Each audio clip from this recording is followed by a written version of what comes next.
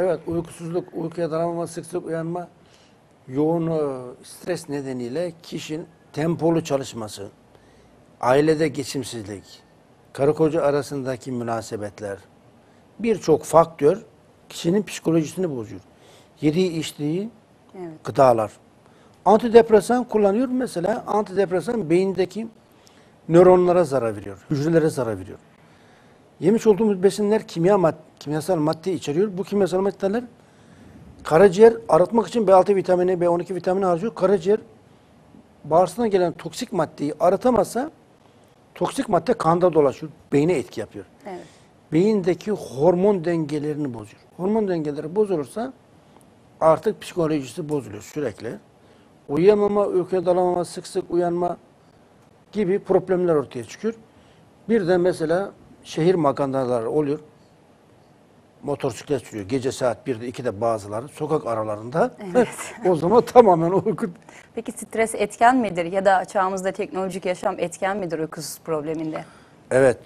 Bunun için mesela sarı kantaron kişide stresi sıfırlar. Gerilimi önler.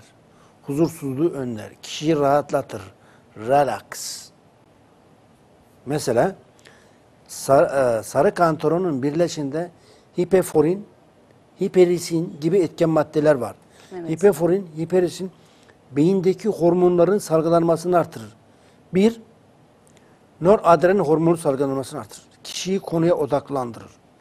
İki, serotonin hormonu salgılanmasını artırır. Serotonin hormonu kişiye mutluluk, neşe, huzur verir.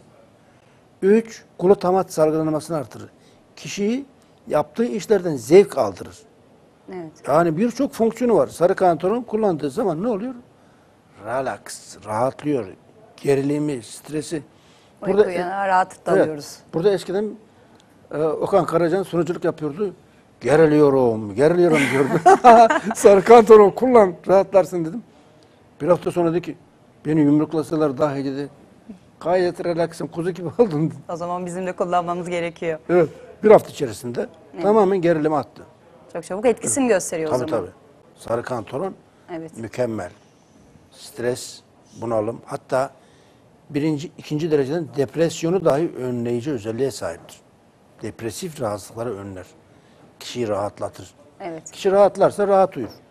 Evet. Rahatlayamazsa uyamaz. Sürekli stres, stres, stres. Peki uykusuzluğun kiloya neden olduğu da söyleniyor. Peki doğruluk payı var mı sizce? Hani uykusuz kalan insan kilo almaya daha çok meyilli olduğu söyleniyor. Tabii tabii gerildiği için e, tabii ki kilo alır. Mesela kişi yattığı zaman Evet. İşte saat 12'den 11'den sonra hormonları farklı çalışır. Gündüz farklı çalışır. Kişi uyamıyorsa, gece uykusunu alamıyorsa e, ne oluyor? Bir şeyler yiyor, atıştırıyor. O zaman ne olur? Leptin salgılanması azalır. İnsülin salgılanması artar. İnsülin yağ depolar, leptin yağları yakar. Evet. Yattığı zaman leptin salgılaması gerekir ki depolanan yağlar erisin. Depolanan yağlar erimiyor. Bu nedenle uyumayan kişi sürekli yiyor, sürekli yağlanıyor. Kilo alıyor, kilo alıyor, kilo alıyor. Peki e, konuyla ilgili bitkisel çözümler nelerdir? Bize neler öner- önereceksiniz? Evet. Çok güzel formüllerimiz var. Reklamlara girmedik ya. Konuyla ilgili şimdi mesela kedi otu Evet. kökü veya çarkıfelek otu veyahut da melisa, oğul otu, Evet. çarkıfelek otu, kedi otu kökü.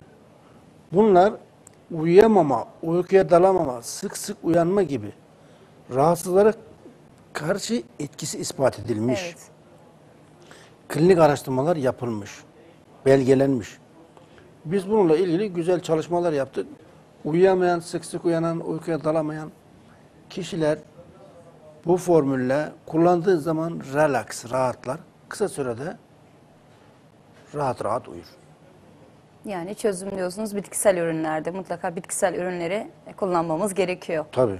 Kedotunun kökünün biz ekstraktından bir formül geliştirdik. Kedotu kökü uyuyamama, uykuya dalamama, sık sık uyanma gibi rahatsızlara karşı dünyada en etkili bitkidir. Artı pasiflora ve oğlotu.